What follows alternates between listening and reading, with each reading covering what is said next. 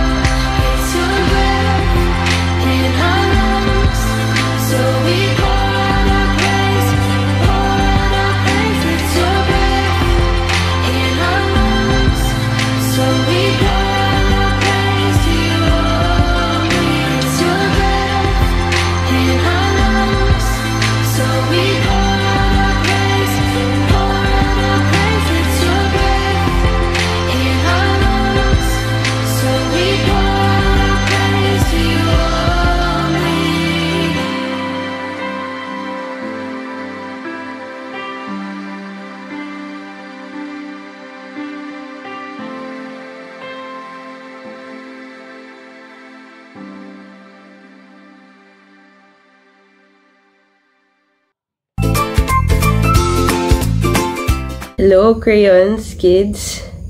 Ako si Ate Thea. And ang kwento natin today is about Jesus' parable about the lost son. Okay, so last week, di ba, the lost sheep. Or nahahanapin ng shepherd ang sheep niya kahit isa lang ang nawawala. Oh, but before we start, let's pray. Lord Jesus, we thank you, Lord, that um,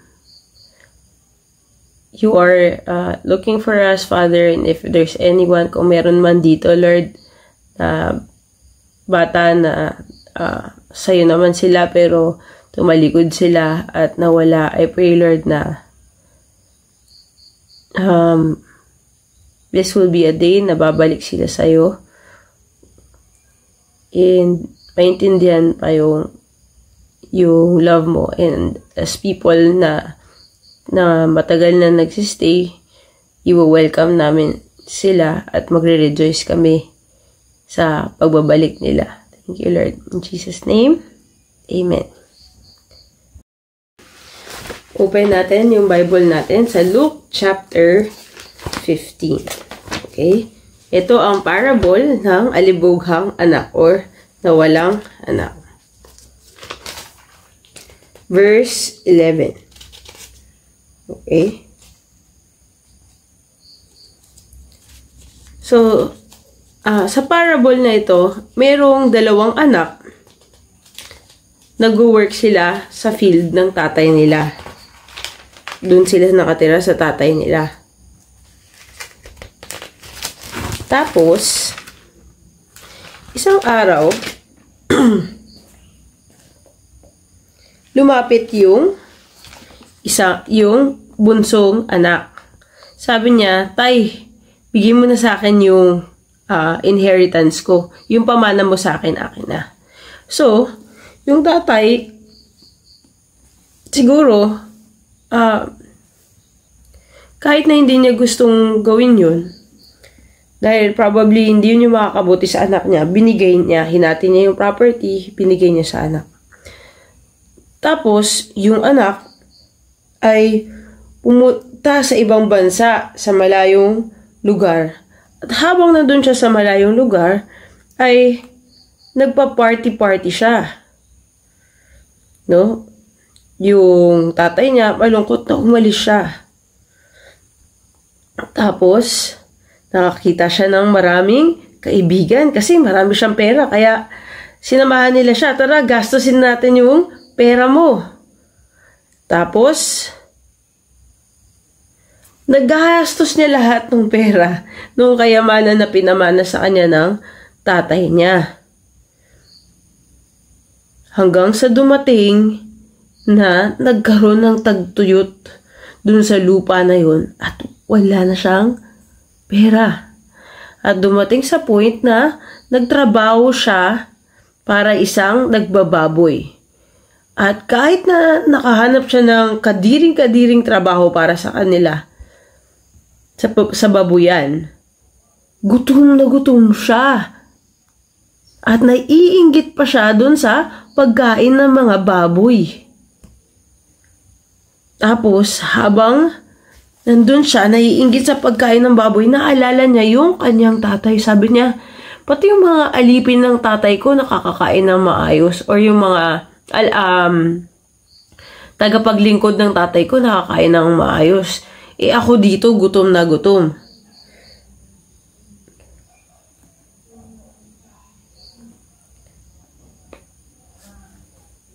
Sabi niya, alam ko na. Babalik ako sa tatay ko. At sabi niya, sasabihin ko sa kanya, nagkasala ako laban sa iyo, Ama, at sa Diyos. Hindi na ako karapat dapat tawagin na anak mo. Gawin mo na lang akong katulad ng mga katulong mo. Kasi nga, mas okay pa yung mga katulong kaysa sa, sa status niya ngayon. At bumalik siya dun sa um, bahay ng tatay niya at yung tatay niya, pagdating niya, nakaabang. At masayang-masaya siyang makita yung anak niya, tumakbo siya at niyakap niya yung anak niya. Tapos, sinabi nung bunsong anak na lalaki, sabi niya, Tay, nagkasala ako sa iyo at sa ama, kay God. Hindi na ako karapat dapat tawagin pang anak mo. Pwede bang gawin mo na lang ako katulad ng mga katulong mo? Pero, pinatawag ng tatay. Yung servant niya, sabi niya dun sa, sa servant niya, Kuha ka, kunin mo yung pinakamagandang damit. Ibalot mo sa kanya, bigyan mo siya ng sandals at ibalik mo yung karapatan ng pagiging anak. Isuot mo yung singsing sa kanya. Dalin mo yung pinakamatatabang, pinatabang calf at patayin nyo. At magpiesta tayo at mag-celebrate. Kasi, itong anak ko na ito, ay patay, pero ngayon buhay na siya. Siya ay nawawala dati, pero ngayon nahanap na natin siya. At sila ay nag-celebrate. Ayan, nag-celebrate sila. Kasi nandun na yung anak niya. Tapos, sa labas, may narinig yung naririnig nung kapatid niya ang panganay. Naririnig niya yung party. Tapos sabi niya dun sa isang servant, anong nangyayari dun sa loob? Sabi sa kanya nung servant, ah, yung tatay mo nagpa-party kasi yung kapatid mong bunso na nawawala ay nandito na. Na maayos at matiwasay. Kaya hinanda ng tatay mo yung pinatabang calf o baby na cow para sa kanya. Tapos, ayaw pumasok nung nung panganay na anak. Ayaw niya pumunta sa party. Tapos, pinuntahan siya ng tatay niya. Tapos, sabi ng tatay niya sa kanya, oh, anong problema? Ang sabi niya, Tay, ang tagal-tagal ko nang naglilingkod sa'yo buong buhay ko. Pero kahit isa, wala ka pang pinapatay. Kahit batang goat lang para makapag-celebrate ako kasama ng friends ko. Palagi akong masunurin sa'yo, pero itong anak mo, na ginastos lahat ng kayamanan mo, tapos ginastos niya sa mga prostitute at wild living, pinapaparty mo siya, pinapatay mo pa yung, yung batang baka para sa kanya. Sabi ng tatay niya, anak ko, alam mo, lagi kitang kasama. Lahat ng meron ako ay sa'yo. Pero kinailangan natin mag-celebrate at matuwa kasi yung kapatid mo bumalik na. Yung kapatid mo dating patay pero ngayon buhay na. Yung kapatid mo dating nawawala pero ngayon nahanap na siya. Yan, sinelebrate nila yung bunso niyang kapatid sa kanyang pagbabalik. Ngayon, may mga tanong ako. Ano yung problema doon sa kwento? Ang problema ay yung bata, kinuha niya agad. Masyado pa maaga yung pamana ng tatay niya. At ginastos lang niya at naubos niya lahat. At nagutom siya. Tapos na-realize niya, wala siyang pagkain. Pag wala siya sa tatay niya. Number two, anong trato nung tatay nung bumalik na yung anak niya? Sabi ba niya, ikaw talaga, ito na sinabi ko sa'yo, gano'n, gano'n. Hindi, di ba? Tuwang-tuwa lang siya na finally, ibig sabihin nito, bumalik na yung anak ko. Alam niya na ako. Nagbagong puso, nagbagong buhay na siya. Dati nawawala yung pag-iisip niya. Lumabas lang sa buhay niya. Ngayon, bumalik na siya. At pinakbo niya at kinakap niya. Ngayon, number three, paano katulad ni Jesus yung tatay? No? Kung naalala natin, sinabi nila Jesus is the friend of tax collectors and sinners. Kaibigan siya ng mga makasalanan, sabi nila. At um, sabi ni Jesus, dumating ako para sa mga may sakit, hindi para sa mga magaling na.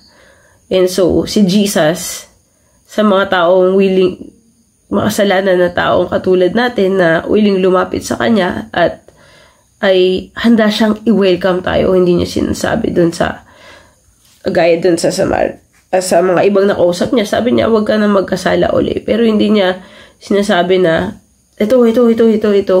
Pero winelcome niya agad. Although, sinabi niya, wag mo, na, wag mo nang balikan yun. No? So, si Jesus, wine-welcome niya tayo. Basta, bumalik tayo. Yung sinabi nung batang lalaki, bunsong lalaki dito, is sabi niya, sa isip niya, ito yung gagawin ko. Yun yung tinatawag na repentance. Tapos, nasusundan siya ng action natin. So, nag-decide na siya sa isip natin. Sa Romans yata yun. Sinabi doon, renewing of your mind. So, that we can do God's will. Binabago natin yung pag-iisip. Yun yung repentance, yun yung pag-turn away sa mali ako, mali yung pinili kong buhay, mali yung pag-alis ko sa protection ng tatay ko. At ngayon, nag-decide siya sa isip niya at ginawa niya yun, na babalik ako sa tatay ko. Kahit alipin na lang, pero alam ko, ah kahit um, alagad ng ah, tagasunod ng tatay ko, hindi ko maisip yung tamang word, ay nakakakain ng maayos. At nakak- nabubuhay ng maayos. No? And yet, pagdating niya doon, tuwang-tuwa yung tatay niya at nagpa-party pa sa kanya. Sinuot uli yung karapatan bilang anak, yung robe, ng, yung authority, at sandals, no, na provide uli yung pangangailangan niya. Kahit na sinayang niya yung binigay sa kanya ng tatay niya. And sinelebrate siya. Ayun, sa, ba't sa tingin mo yung kuya niya ay galit? No? Kasi inisip niya, tama lahat ng ginawa ko. Hindi man nag-initiate yung tatay ko na magpa-party sa akin. Pero ngayon, sabi niya, magpa-party kayo? And so, kailangan din kinorek ng tatay yung heart ng kapatid niya. So, sabi niya dito, di ba, meron yung isang anak na umalis literally, pero merong isang anak na nagstay. At may ini-expect siya na hindi niya nakuha. Pero sabi ng tatay niya, lahat ng meron ako, sa'yo din. No? So, sabi niya dito, hindi lang yung isang kapatid, yung dalawa. Kaya sa memory verse natin, sabi niya dito, ah yung ah, siguro yung halata sa hindi halata, 'di ba? Sabi niya dito, we all like sheep have gone astray. Each of us has turned to his own way. Lahat tayo parang tupa ay umalis under sa covering ng tatay natin at ginawa natin kung ano yung gusto natin. And si Jesus, inaantay lang niya tayo na bumalik sa kanya. At pag bumalik tayo, tuwang-tuwa siya na i-welcome tayo na halika na Dati nawawala ka, nahanap na kita. Dati patay ka, ito na, buhay ka na. No, dahil dun sa decision na yun. Ngayon, mag-pray tayo. Pag-pray natin, kung meron tayo, tayo, kung meron tayong kilala, na sila ay nawawala, nawala na sila kay Jesus, bum, uh, namatay sila or patay pa sila, di pa nila kilala si Jesus, pag-pray natin na gamitin tayo ni Lord para makilala nila si Jesus. Panginoong Jesus, salamat po dahil inaantay mo lang Lord na magbalik loob kami. At umilalim sa iyong lilim. Salamat po dahil tuwang-tuwa ka pag kami ay bumabalik at kahit sino pang kakilala namin ay bumabalik sa iyo. And panalangin po namin na sa aming pagbabalik, marami ba din kami mga kakilala ay makakabalik din sa iyo at uh, hindi na aalis sa lilim mo at gagawin kung ano lang yung, yung gusto namin, Father. Pero kung ano yung gusto mo, Jesus, tulungan mo, Lord, kaming maintindihan itong mga bagay na ito at mapag-isipan pa. Salamat Lord na sa pagbalik namin sa iyo binabalik mo lahat ng uh, karapatan namin Lord bilang iyong anak kino-cover mo kami ng protection mo, piniprovide mo, binibigay mo kung ano yung pangangailangan namin. At yung way namin kung saan kami nagpupunta. Ikaw, Lord, ang patuloy na gumabay at magprotekta at mag, ah, magturo sa amin dito sa buhay na to. Titiwala kami sa iyo. In Jesus' name, Amen. Good morning, Kurons. This is Ate Mitzi, and for this Sunday's memory verse, we have Isaiah 53, verse 6. Yeah. Let's read. We all, like sheep, have gone astray. Each of us has turned to his own way. Isaiah 53, verse 6. Katulad ng dati, aalisin natin yung um, phrases, isa-isa, hanggang sa ma-memorize natin yung whole verse. Sige, let's remove, alisin natin yung each of us. Sabay-sabay nating bigasin. In 3, 2, 1, go. We all, like sheep, have gone astray. Each of us has turned to his own way. Isaiah 53, verse 6. Good. Next, alisin natin yung has turned away. In 3, 2, 1, go. We all, like sheep, have gone astray. Each of us has turned to his own way. Isaiah 53, verse 6. Kasi natin yung green. Have gone astray. Ready? In three, two, one, go.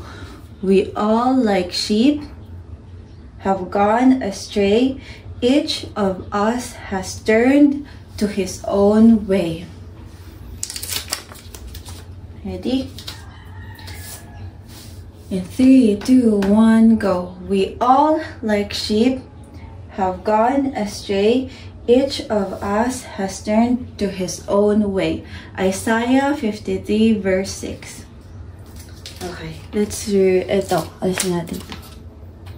In three, two, one, go. We all, like sheep, have gone astray. Each of us has turned to his own way. Isaiah 53, verse 6. Last one. Last time. In three, two, one.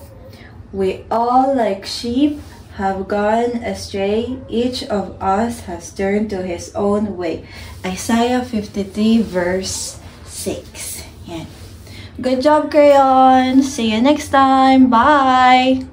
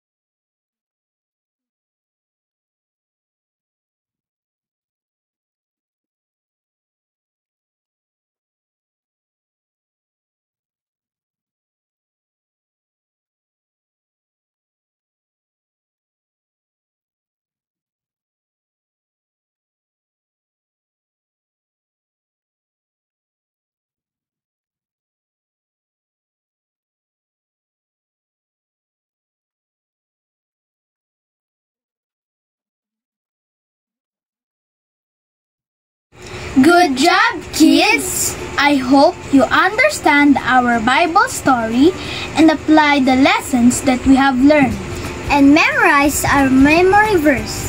and do our crafts. And now let us close in prayer. Dear Lord, thank you for your message and help us to apply it in our lives. In Jesus' name we pray. Amen. See you next Sunday! Bye-bye!